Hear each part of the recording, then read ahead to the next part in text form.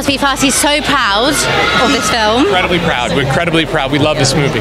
Of course, of course. So it's based on a novel. That's right. Uh, so what inspired you to create the film in the first place?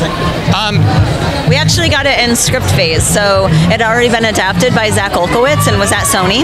And Brittany Mor- Morrissey of Sony, a, a phenomenal executive, brought it to our attention. We read it. We were like, "This is so modern, so wild, so fun." I gave it to David, and he was like, "Okay, we're going to be on a train for two hours. How- how am I going to this thing? What?" exciting and entertaining?"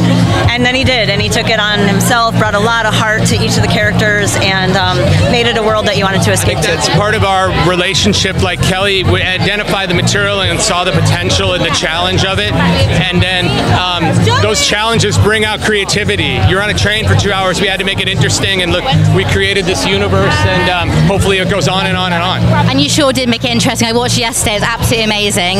Last question. What was the most funnest, most memorable part of filming? Oh.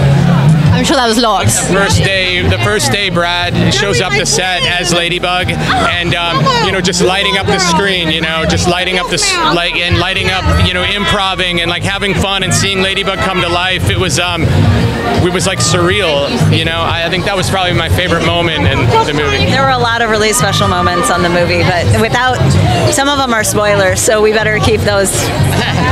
Well, congratulations and thank you so much, guys. Have a lovely evening.